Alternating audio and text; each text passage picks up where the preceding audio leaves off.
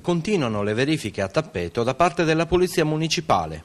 Già da qualche giorno, infatti, si stanno eseguendo nella città controlli relativi all'accattonaggio, schiamazzi notturni e la verifica dei permessi speciali per la zona in traffico limitato ritornerà ad essere presente il telelaser, dove nel mirino cadranno tutti i veicoli che non rispetteranno quanto stabilito dal codice della strada. L'assessore Flavio Moro ci illustra i provvedimenti in corso. Dall'inizio del mandato abbiamo iniziato ad intensificare i controlli sulla, sulla città in termini di sicurezza vista in senso lato, per cui sicurezza stradale e sicurezza dei cittadini.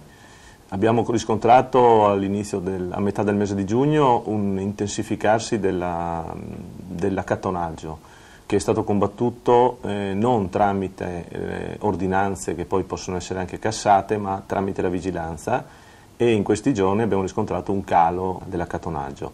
Rispetto alla sicurezza stradale abbiamo iniziato ad intensificare i controlli, eh, tra i quali anche alcuni con il telelaser. Ci tengo a chiarire che non stiamo eh, tenendo delle imboscate, e stiamo valutando anche di rendere pubblica eh, l'attività eh, annunciando magari all'inizio della settimana su quali strade la Polizia Municipale si attiverà.